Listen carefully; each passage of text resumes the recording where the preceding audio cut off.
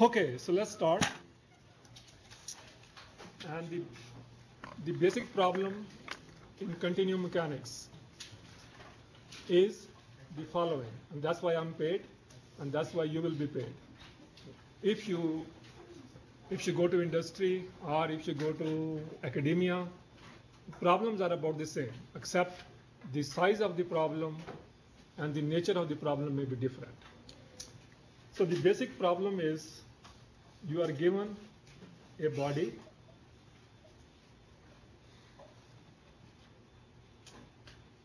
That means the initial shape of the body. Like the shape of the body at some time zero you are given its material.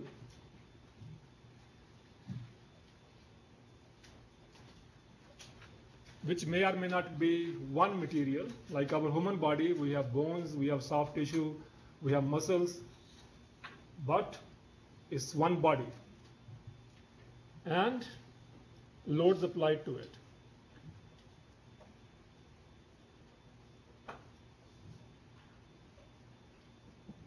Which means, well, one example could be you are riding a bike and you, fall, you fall down so you hit the pavement or the road. So that's there are some loads acting on it. Or somebody punches you. That's a load acting on it. Okay. So, but we have to be given those loads. And then it says separate area to find the loads. Like if there's, there's an explosion, say, what is the load caused by the detonation of a device? If the two cars collide with each other, what is the loads acting between them. So, so if we are given the body, its material, and the loads acting on it, so let's put a hand here, find the deformed shape.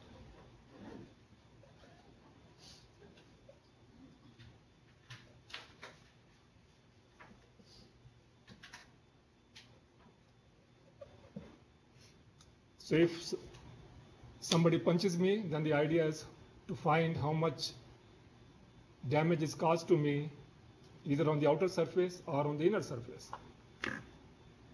Um, I did not say we can solve all these problems. If we could, I will not have a job and I won't be able to eat. So the, the good part is we, there are a lot of problems which we cannot solve at the present time. However, all of, the, all of those problems are in this category. See, the load may be time dependent, like an improvised explosive device, or the two cars hitting each other, that's a time dependent load, or the load could be static. So you are carrying, you are standing, you are carrying a suitcase. So tell me how much your arm is elongated. That's, that's a problem too, right? And if you keep on standing with the, that's one kind of punishment one can give quote unquote prisoners. Let them carry a weight in both arms and stand. So their arms after a while will, will get stretched. And of course then our body cannot take the stresses, which I have not talked about what is stress yet, but it will, it will start hurting. Okay, now in order to solve this problem, the first thing we need to do is we need to identify different points of the body. So where is it hurting? When you go to the physician and say, uh, my stomach is hurting, he, he or she cannot help you unless you are a little bit more specific. So in our case now, if we say the, say the material point has stressed, which one has stressed? So we really need to talk about the material points in the body and how many points are in a body. How many points are in a in a potato? Infinitely many.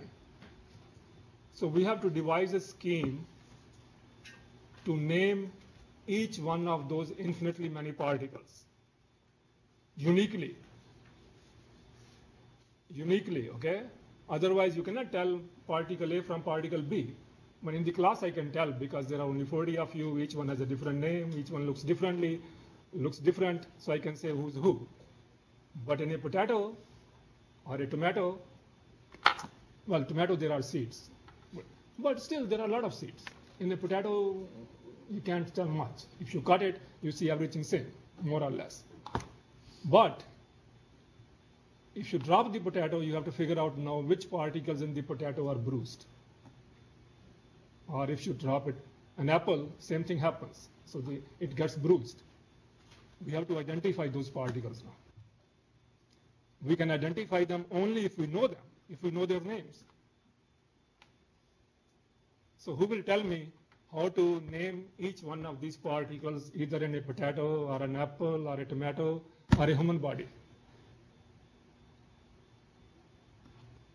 Any good idea? You have learned it. It's not something that you have not learned. And you learned that a few years ago, at least a few years ago. Yes, By, by their coordinates? their by, by position? coordinates. Very good. So let's draw a potato. That's what we generally do. We show a body in continuum mechanics by a potato.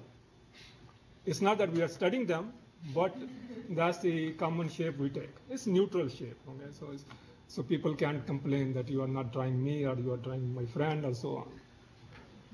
So we choose a coordinate system.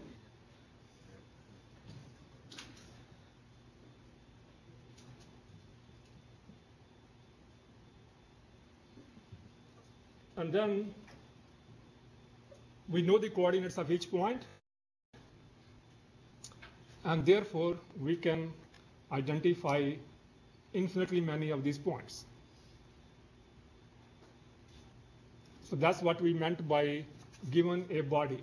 So you know the shape of the body you start with. The second step is given loads to it. Loads can be body forces like gravity, it can be electromagnetic force, which we may or may not be able to see. It could be with a, taser or laser gun, which we may or may not be able to see. Or the more common ones is a person falling on the pavement and getting bruised. So these are the loads acting on it. We did not tell them in real life their magnitude has to be given and the direction has to be given. A force is a vector quantity. So we need to know its three components and well if we know the three components then we should be able to identify it. So we, we need to know where they are acting and how much they are acting and what is their magnitude and direction. Okay? I did not show on all of this surface because they may, are, they may be acting only on a part of it, or they may be acting on all of it, when we don't know. So the next step is find the deformed shape of the body. And since we do not know yet, so we will just draw the deformed shape. Oh, I guess it's the same color. So, okay, sorry. So we, we draw the deformed shape. You don't have to use different color. And this potato looks quite different from the other one. So it has been deformed. Deformation means the change in shape. Sorry, you don't have a chair? How come? Or maybe, huh? Oh, I guess we have another chair here. Okay, so so the deformed shape looks different. That means the shape of, by deformation we mean change in shape. By deformation we mean change in shape. So so the initial potato was omega. Let's put omega zero. That means at time zero. And again, this is a Greek symbol omega. So what omega refers to is the, the region occupied by the body at time zero. This space, this region in space, in three-dimensional space, occupied by the body at time zero. Time zero is your choice. You can start your watch whenever you like. We don't have a digital watch now. You assume you have a stopwatch, like they have in Olympics. So you start the watch when the umpire fires the gun, so you can start running. So here we, you can start your watch whenever you like. basically you start your watch when the shape of the body is given to you and when the loads are given to you. Okay, so what will happen then? So this point x, because it is deformed, it will move to a different point.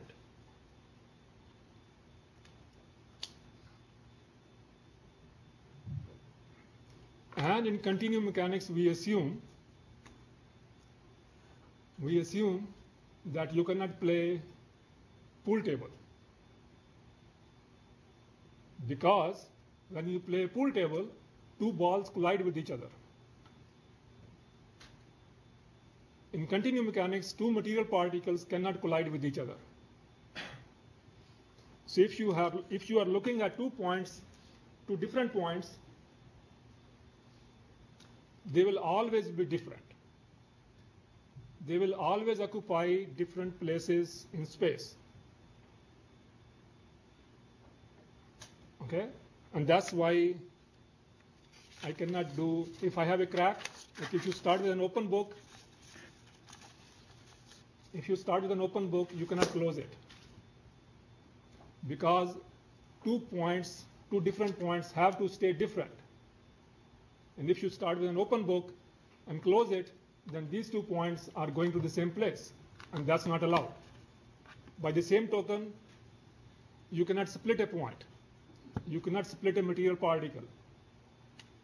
So you cannot crack a body. Continuum mechanics we are going to cover, we are going to study does not cover those problems. Okay, so now we need to talk about infinitely many points. Each one of these points has gone to a different place.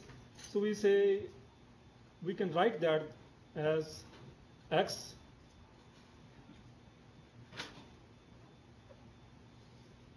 the present position of the particle whose name is big X at time t is given by these three equations. Is i is equal to 1, 2, and 3. We need 3 because we need the x coordinate, we need the y coordinate, and we need the z coordinate. Now remember, x1 is x coordinate, x2 is y coordinate, x3 is z coordinate. And the reason we are writing, we learned the index notation is so we don't have to write three equations, we can write one equation.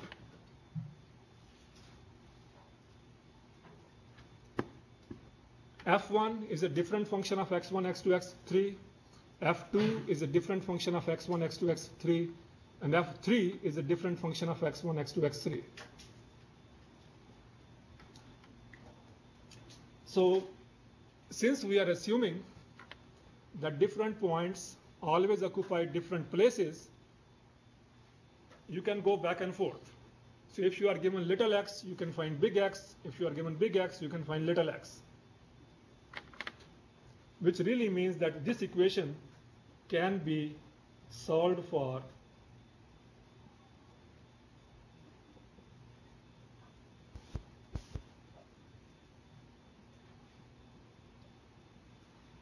this equation can be solved for big X. These, there are three equations, right? Like x1 equal to f1 of x1, x2, x3t. So these are three equations. Those three equations can be solved simultaneously for big X in terms of little x. And before I go too far, so let me give you an example so that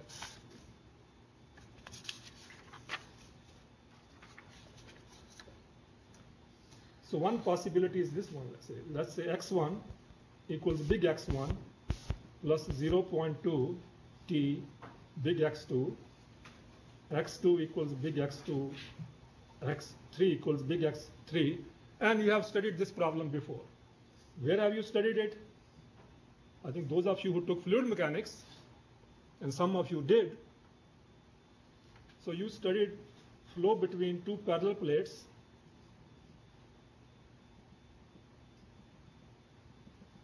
So this is, say, honey or oil or something viscous material, not quite air, because air doesn't stick with the body. So if you move the upper plate relative to the lower one, then what happens? If you move the upper plate relative to the lower one, move slowly, not very rapidly. And assume that you have you have done it for a little while, like you have done this for a small interval of time so that transient effects have died out and the flow is laminar. There is no there is no hurricane coming. There is no gust of air. There is no thunderstorm. Things are moving very, very slowly. So what will this what, how will this line be deformed? And those of you who took fluid mechanics should know it. I know you know the answer, so let somebody else say now.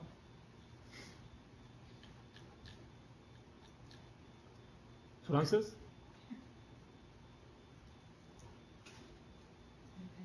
Huh? So how many of you took fluid mechanics in your um, prior years? You studied flow between two parallel plates. I mean, this is. So Ganesh raised his hand. So, so how will this line be deformed? Or you, uh, the upper part of the line will move along the top plate. So it will move along the top plate, and if, because that's the direction of the displacement, and we are assuming fluid sticks with the plate, the rest of it you may or may not know, but let's assume it's a straight line. That's what the laminar flow will. One, one kind of laminar flow, not every kind. And that's basically what is given here. Just one second. So this is my x1 and little x1. This is x2 and x. Yes. Um, what will be the effect of the T in there? T is time. Yeah. So the things are changing with time. So it's not. Um, so what what is happening is at initially this is the line. At some later time it becomes this, and if you keep on at a subsequent time it becomes that, and if you keep on waiting it will become that. So that's the effect of time. So t is the time. And at time t equal to 0, that's when we started the experiment. Or we started observing it. So this is an example of these three equations I was talking about. Like little x is a function of big X and time. We can solve, we can invert these equations, which means we can solve for big X in terms of little x. Well, the solution of the last two equations is trivial because it says big X3 is little x3, big X2 is little x2, big X1 is little x1 minus 0.2t. What is no for big X2? I can substitute little x2.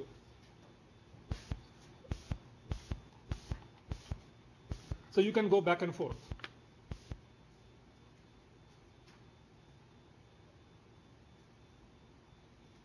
Does it make sense? Katie is not very happy. Speak up. Speak up. It's okay. You're okay? So the point is that if you are given the present positions, which means you are given the deformed shape, you can find the undeformed shape or coordinates in the undeformed shape in terms of coordinates in the present configuration or deformed configuration or deformed shape. Okay, now under this deformation then, what will happen if I take say cube here? How will this cube be deformed? So I draw a small cube in the body. How will this cube be deformed? So if you want to plot that,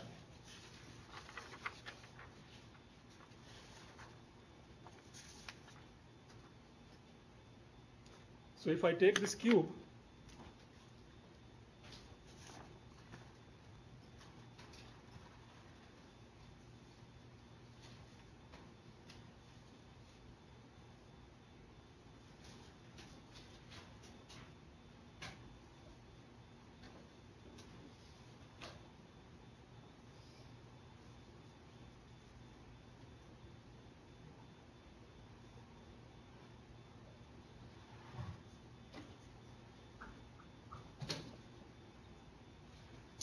That's the cube in the undeformed state.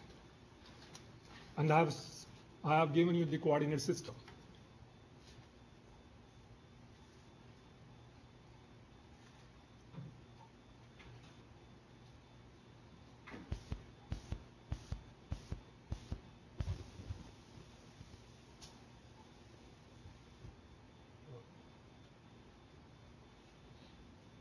So I have given you the coordinate system.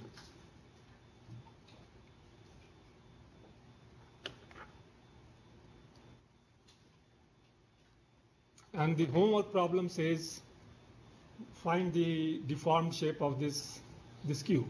It doesn't quite say of this cube, but they are similar.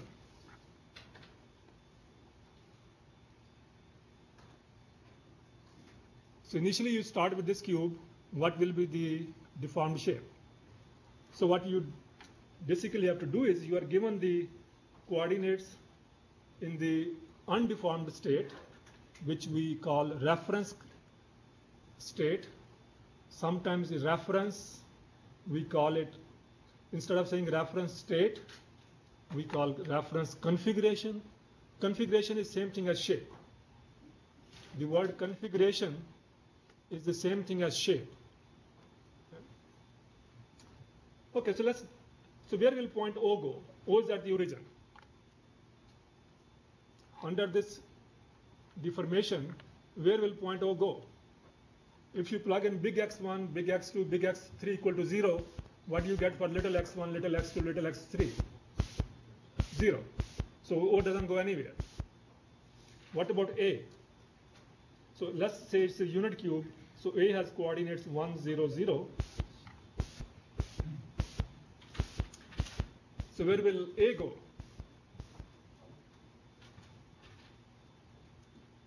Yes? It stays there, doesn't go anywhere. Because if you plug in big X1 equal to 1, little x2 equal to 0, you get little x1 equal to 1. So what about B then? B is say 1, 1, 0. So if you plug in now B equal, to, if you plug in x1, x2 is 1 now, so you get x1 equal to 0.2, 1 plus 0.2 t. So this point moves to the right. So that's where B, so big B goes to little b.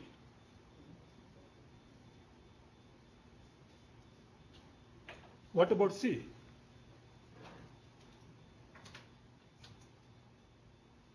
What about big C? So big C has coordinates x1 is 0, x2 is 1, and x3 is 0. So it will go,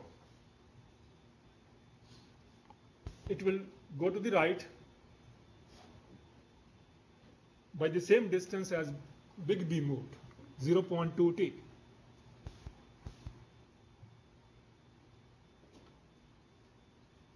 So the back face then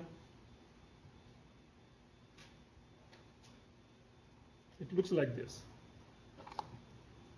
So the back face looks like so O A B C goes to O little a little b little c and little a and big A are the same points.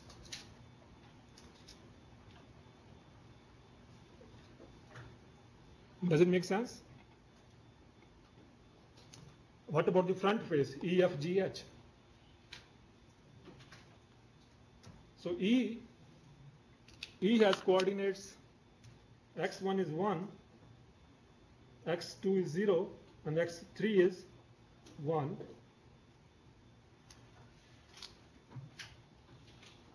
So to find the coordinates of little e, you plug in 1, 0. So that means little x1 equals big x1. So it doesn't move horizontally. It doesn't come out. Just stays there. So this e stays there. What about h? That stays there. and G will go to this one, and F will go to this one. By the same reasoning. So this will become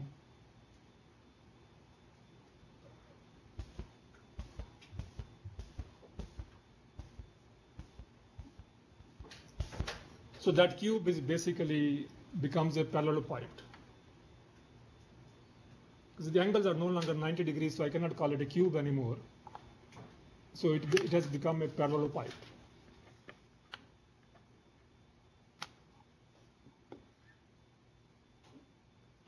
Does it make sense or not? Okay, now let's take the same deformation, but instead of looking at a cube, I, look, I want to look at a sphere. Instead of looking at a cube, I want to look at a sphere. And the also I, I move my coordinate axis so that that is the center of this centroid of the sphere or center of the sphere. Uh, just to simplify writing an equation, it has nothing to. Oh, you want to look at the time? Uh, Oh. There a message scrolling across. Oh, okay. Everything is safe. Don't worry.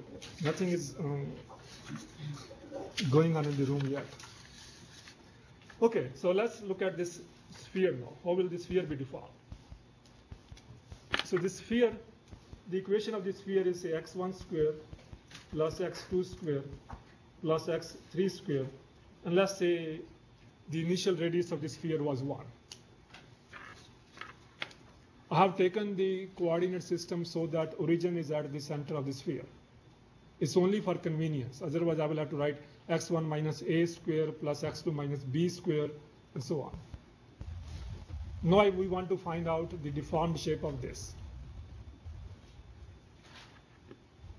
How do I do it?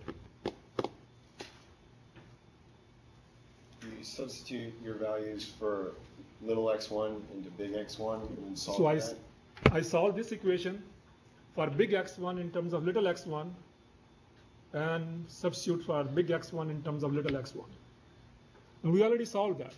We solved the equations for big x1, big x2 and big x3 in terms of little x's.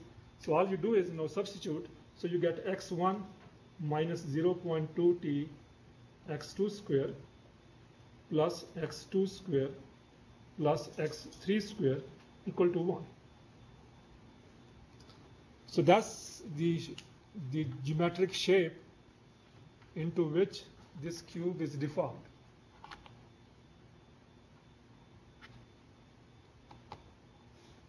So what is this curve called?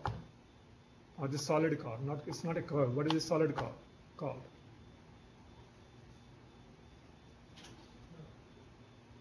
No, not you. No, you, you already know the answer. The, the two of you know the answer. Somebody else. You know. Anybody from Wake Forest will venture to take a guess? A potato? Yes, it is a potato, but it has a, a, it has a shape, nice shape. Is it an ellipsoid? It has a very nice shape. I'm sorry? Is it an ellipsoid? Yeah, it's an ellipsoid. Very good. So a sphere in general is deformed into an ellipsoid. So it, it basically tells us how to find the deformations now.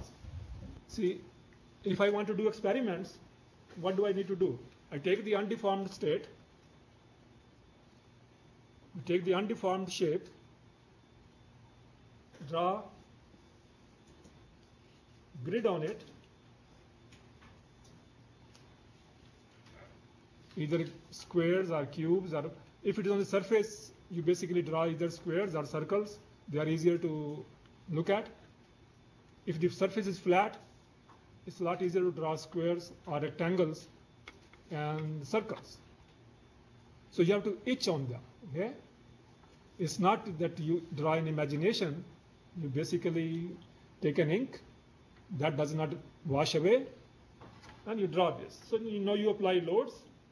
So this is deformed into another potato, and those that grid is deformed into a different grid now. And then you see where uh, this point goes, this one goes. So you look at these four points and see where they go, and you can get a good idea of the deformation. Like, I could look at this square, the area of this surface A, and then I could look at the area of the corresponding surface here and figure out how much it has deformed. So an easy experiment is pull your skin and you can see, of course, I don't have any marks on it yet, but if you pull it, you can see how much that square or circle will be deformed. So what is your guess? Now when I'm pulling it, how much I'm stretching it? Like how much is the line, any line element elongated? You can try on your, it won't hurt you. And there won't be any permanent scar left either unless you really pinch it hard. So how much are we stretching a line? By stretch, I mean the final length over initial length.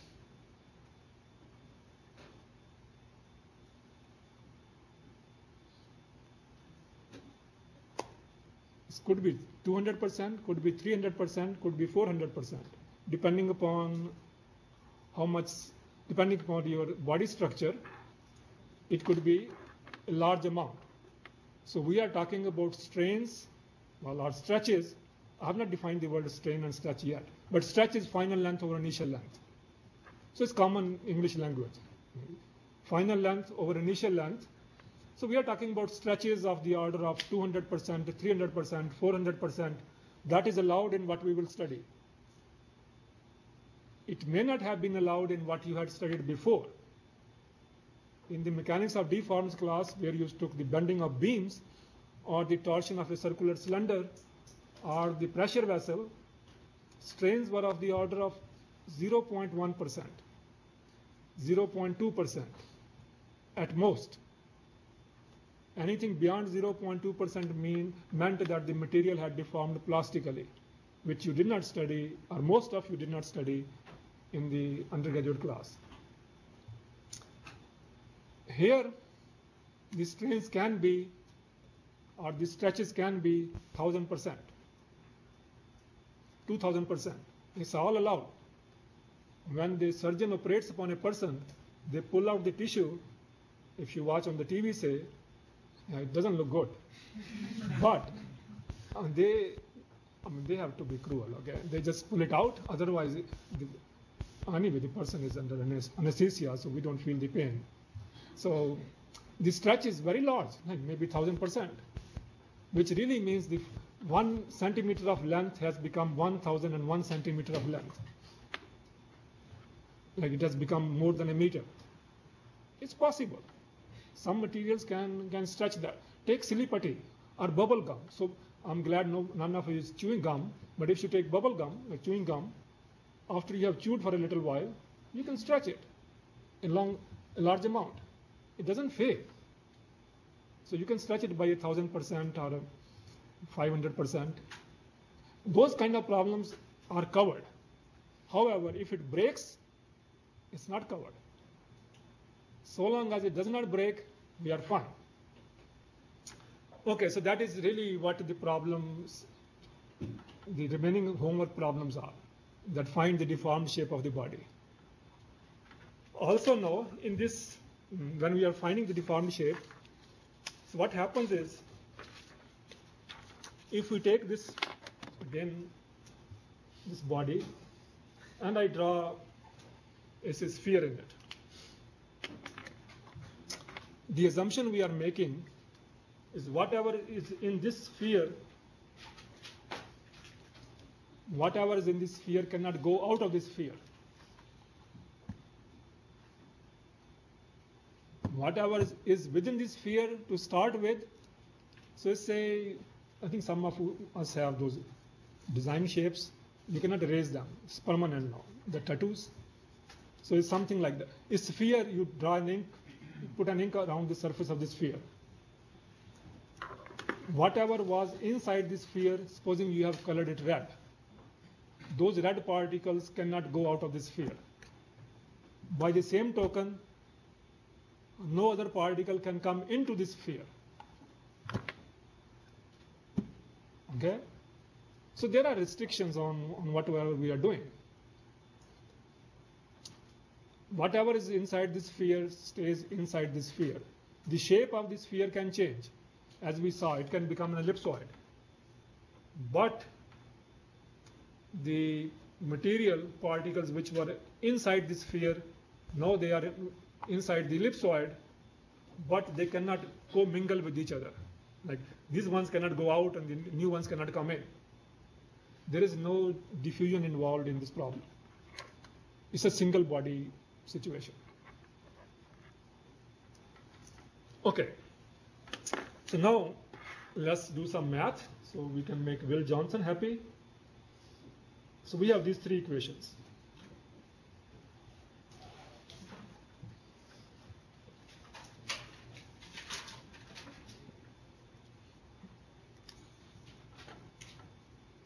When can I solve these equations for big X in terms of little x?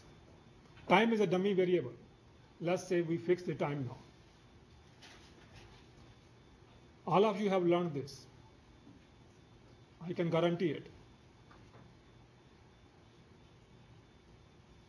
So when can I solve these three equations for big X in terms of little x? Is question making sense? See, the, the example problem I gave you was trivial in, in that sense because my equations were linear.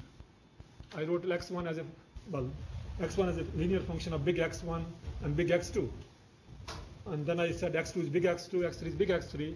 So I solved for big x1 in terms of little x1. Very simple, innocent looking exercise. Now I want to assure ourselves that we can always do it. So when can we always do it?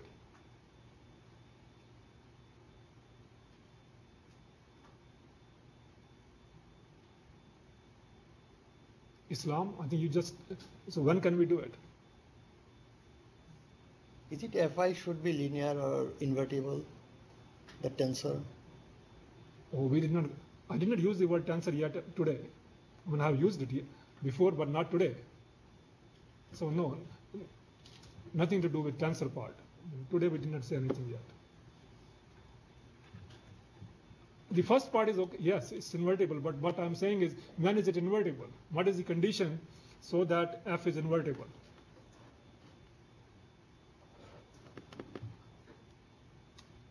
Yes, you want to say something? Uh, yes, but I have no. Uh, It's okay. Okay. In any case, I think uh, probably the, the Jacobian must be, uh, or the transformation must be uh, different from zero. Right.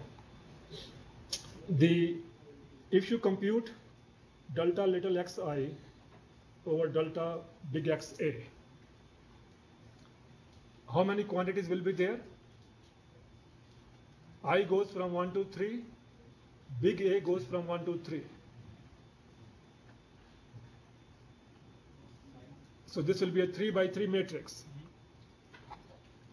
Determinant of this matrix must not be 0.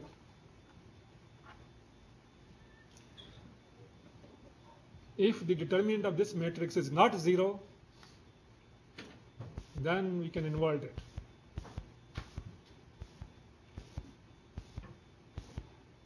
Okay? So in our case, since we are requiring that we should be able to solve for big X in terms of little x, therefore this thing should all not always be 0. And this is true for every point, which means for every x and time t. So no matter which material particle we are talking about, this should not be 0. And this has a name this the left hand side has a name called Jacobian, which is really the name of a person. So this Jacobian should not be zero.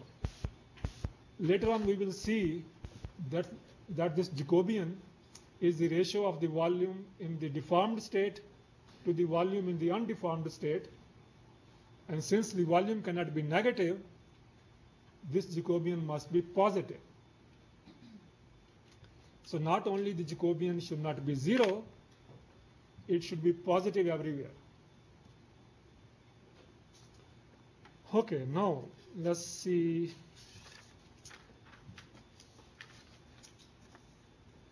Let's do this experiment. I do not know how many of you like to go for fishing, but all of us have driven on the highway, or most of us have driven on the highway. And let's assume, first I will give you the, let's, yeah, let's talk about first highway, and then we will talk about the fishing part. So this is a I-81, and here is our friend, cop, police officer. So police officer, and these are the cars going. And let's assume that the police officer is hiding so that we cannot see the person, but of course he or she can see us. So what is the objective of the police person there? No, I mean, well, to observe to observe the speed of persons, right? Of cars, not persons, cars. So the point is, if the officer is stationary, like not moving, is the person, is the officer finding the speed of the same car or finding the speeds of different cars?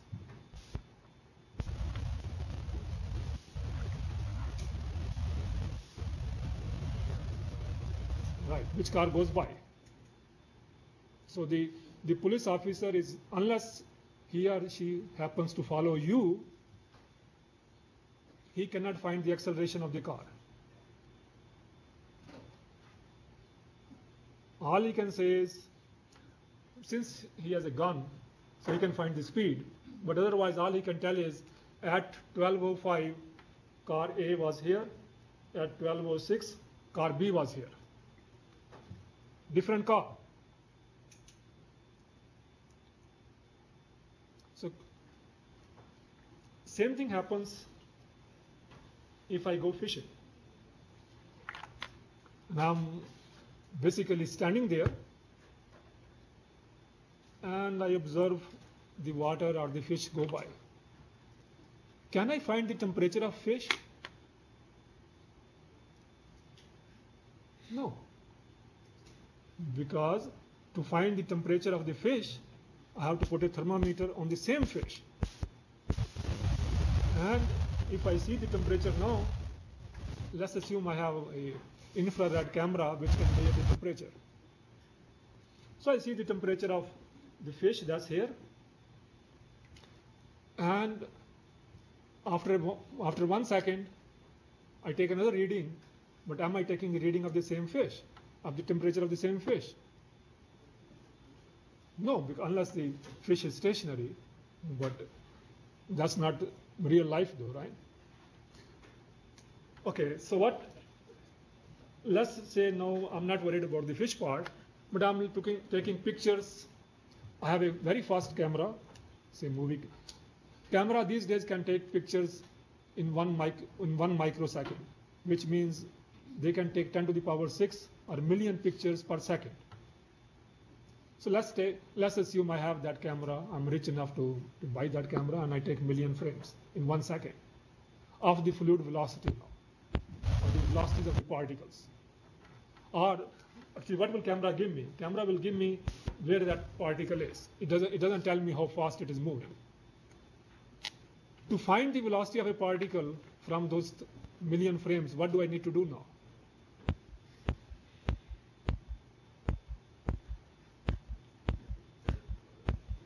So I compare the photos, but photos will, will how will I compare the photos? Track the points. That's the problem. I have to track a material particle. I have to track the same fish, or I have to track the same fluid particle if I want to find the velocity of that fluid particle. If I just compare different frames, it won't help me because at different times, different particles, I'm looking at different material particles. The fluid is flowing. So at different, at different times, I'm looking at different, different fluid particles. So that doesn't give me the velocity though. Or if somehow if I can find the velocity, I cannot find the acceleration.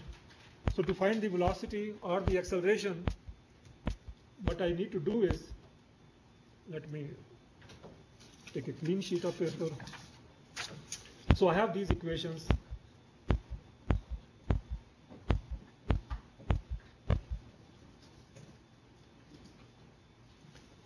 So to find the velocity of a material particle, what do I need to do? What is the definition of velocity? Well, that you learned, I'm sure. What is the definition of velocity?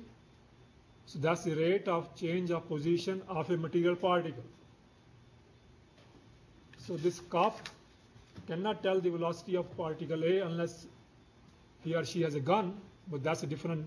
Otherwise, all he's telling is this car was there at 1205 and car B was there at 1206, but he cannot find the velocity because he's looking at different cars. So to find the velocity, you have to look at the same car, same fish, same material particle. So the velocity then of a material particle is the rate of change of position, but you have to keep big A fixed.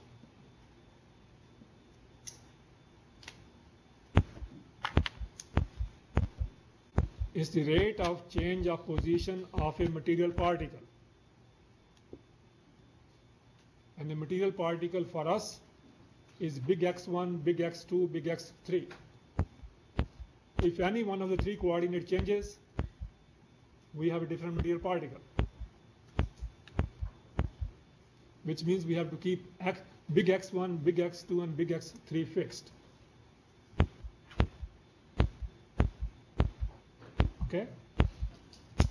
So now, supposing that, that experiment I was doing, and some of you might have done in the lab, that will give us this experiment. I'm standing at the at a lake or at a river, not a lake, but the water is flowing because lake can be water can be stationary. So um, the water is flowing. So I took pictures, and somehow my pictures, from the pictures I can figure out the velocity. So those velocities are not of material particles, but they are of that part of particles which happen to be there at a given time. Same thing, let's look at this cop. Supposing now he's finding the velocities. So the cop is finding the velocity of car A at time 1205, of car B at 1206.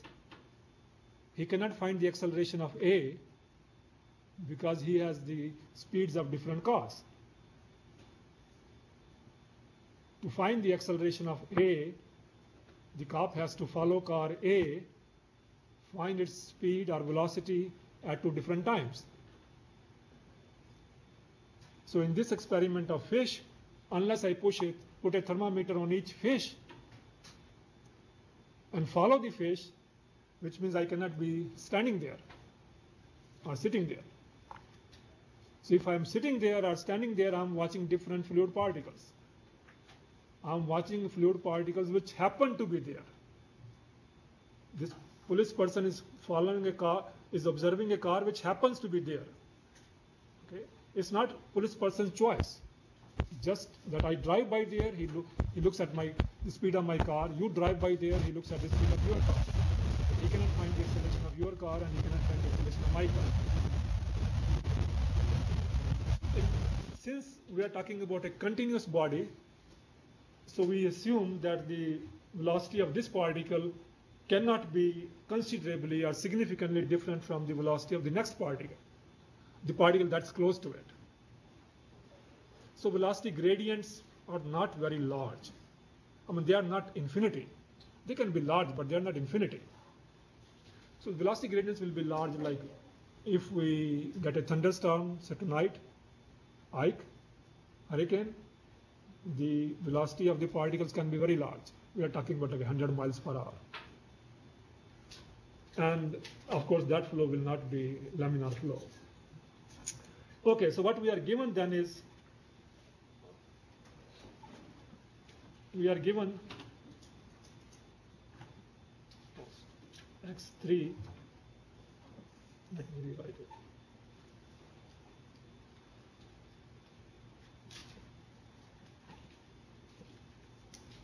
so we are given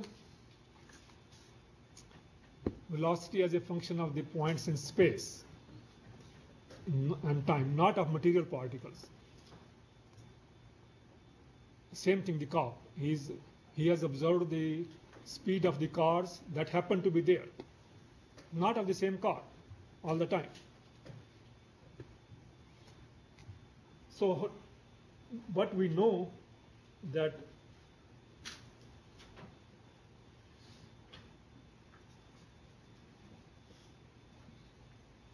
that little x is a function of big X and time. Little x is a function of big X and time. So I want to find the acceleration of particle A, particle x at time t. Acceleration is of a material particle. Acceleration is not of points in space. Acceleration of your car. Yeah. So how will I do it? So what is the definition of acceleration? Actually, we wrote it about. We said, oh no, we did not write. So the acceleration is rate of change of velocity of a material particle. Acceleration is rate of change of velocity of a material particle. So if you are given velocity as a function of big X and time, there is no difficulty. Just take the partial derivative. That's the definition. But in real life, in many experiments, just one more and then I will quit. I just looked at the watch. Okay, so yeah, just one more second. Oh, are you with me at Wake Forest and We're here at Wake Forest. oh, Oak Ridge also? He's there. It's okay. How many of you have heard of the chain rule of calculus? That's what we are going to use. So maybe I will use it next time. It does not affect your homework. The homework is only says find the deformed shapes. Uh, for the homework, is it okay if we use Mathematica or something to plot out? Sure. Okay.